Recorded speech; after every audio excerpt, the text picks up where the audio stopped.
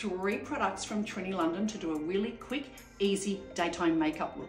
The Miracle Blur, press it in and you can use it over the lip as well. Now for my BFF Serum De-Stress in Lucy.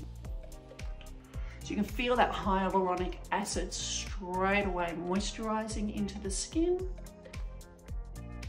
Now for a little bit of color with my Sheer Shimmer Lip2Cheek in Dido. And pop some on my eyes. Done, ready for the day, looking amazing, feeling amazing. My skin feels soft, it feels dewy, it feels plump, it feels protected, and it is breathing.